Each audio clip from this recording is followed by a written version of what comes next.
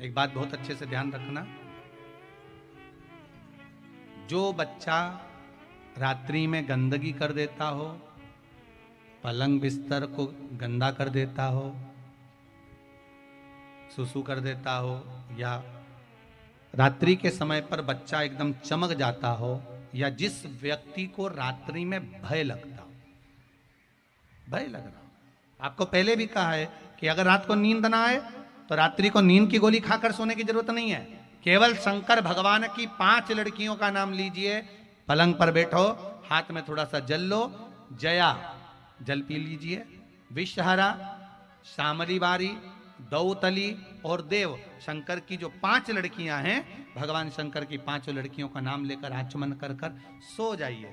आपको टेबलेट खाने की ज़रूरत नहीं पड़ेगी, नींद की गोली खाने की ज़रूरत नहीं पड़ेगी। एकदम झकास नींद आएगी। एकदम मस्त। नींद चक्कर नींद सो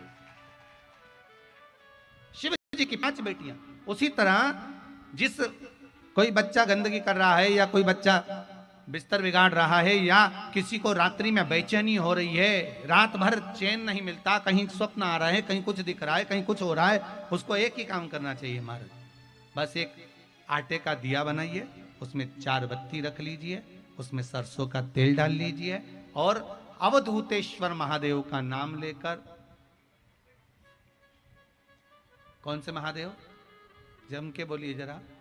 अवधूतेश्वर महादेव का नाम लेकर, उस बाती को जलाकर, उस व्यक्ति के ऊपर से स्पर्श कराकर, उसको किसी भी वृक्ष के नीचे, पीपल आदि का आदि, कोई वृक्ष के नीचे या चौराहे आदि का स्मरण हो, वहाँ पर उस वृक्ष के नीचे उसको रखवा दीजिए, रात्रि के समय पर। व्यक्ति फिर कभी नहीं चमकता गंदगी नहीं करता। अवधूतेश्वर महादेव।